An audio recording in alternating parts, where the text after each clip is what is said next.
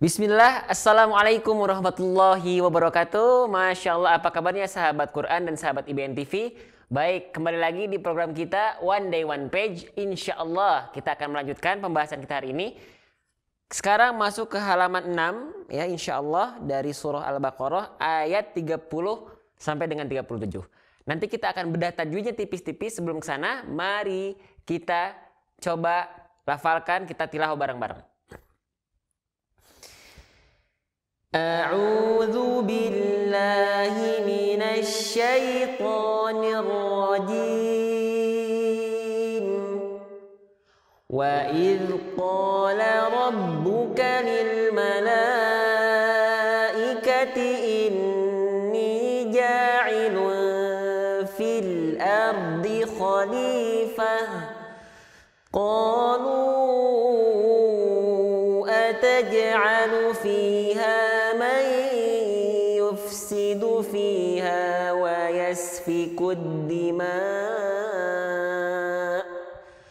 ونحن نسبح بحمدك ونقدس لك. قال إني أعلم ما لا تعلمون.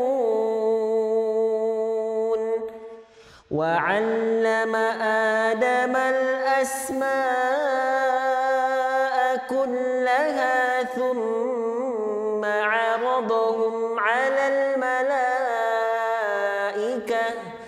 فقال أنبئوني بأسماء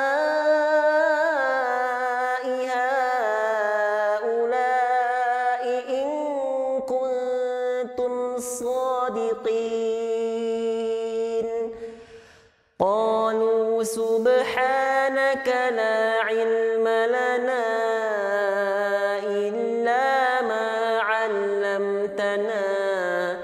إنك أنت العليم الحكيم. قال يا آدم أنبئهم بأسمائهم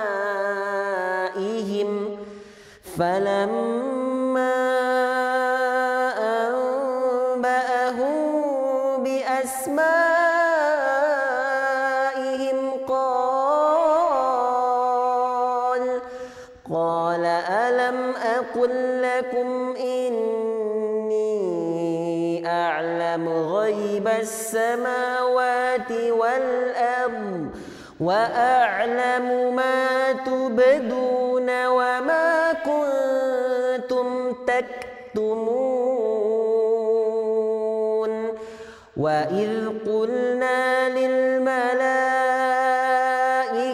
اسجدوا لآدم فسجدوا إلا إبليس. أبى واستكبر وكان من الكافرين. وقلنا يا آدم اسكن أنت وزوجك الجنة. وزوجك الجنة وكلا منها رغدا حيث شئتما. ولا تقربا هذه الشجرة فتكونا من الظالمين. فأزلهما الشيطان عنها فأخرجهما مما كانا فيه. وقلنا اهبطوا بعضكم لبعض عدو ولكم في الأرض مستقر ومتاع إلى حين فتلقى آدم من ربه كلمات فتاب عليه إنه هو التواب الرحيم Baik, Alhamdulillah sudah kita tilawah bareng tadi. Nah sekarang saatnya kita bedah tajwid tipis-tipis. Masya Allah ya. Baik, mungkin di sini saya coba ingin membahas pertama di bagian ayat 30 agak ke akhir baris ketiga. Perhatikan di situ ada jeda ketika pada kalimat atau kata wanuqaddisulak. Kaf sukun itu punya sifat hamas.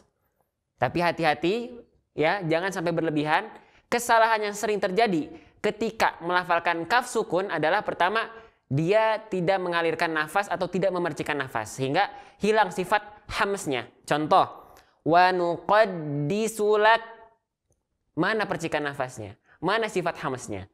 Yang kedua, yang kedua justru dia berlebihan. Seperti ini. Wa nuqaddisulak.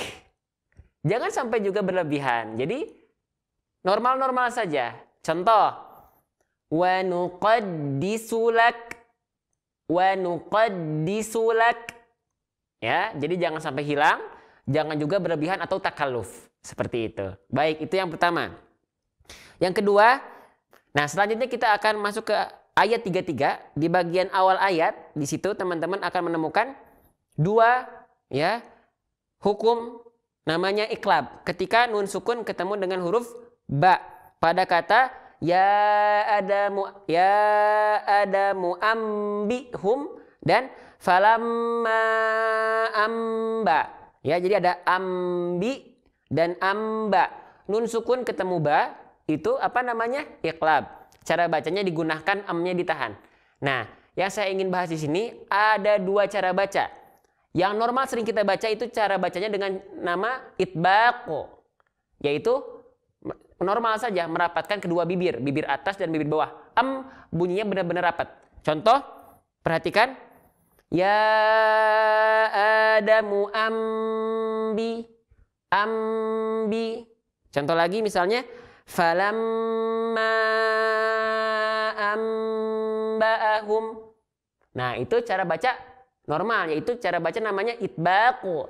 Nah, ada cara kedua dan ini juga sahih insya Allah ini bisa kita praktekkan. Apa nama cara bacanya? Furjah. Dibacanya seperti apa? Kalau tadi dia benar-benar rapat bunyi amnya, kalau yang ini dia seperti dikasih celah sehelai kertas. Perhatikan.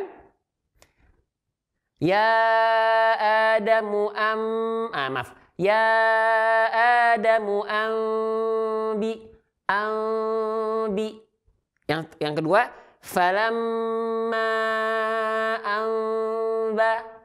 Nah, jadi boleh dikasih celah selai kertas, tapi jangan terlalu dibuka juga ya. Jadi iklab dan juga ikhfa syafawi itu ada dua cara baca, yaitu itbaq benar-benar dirapatkan ya bunyi amnya bibir atas dan bibir bawahnya disentuhkan dan rapat.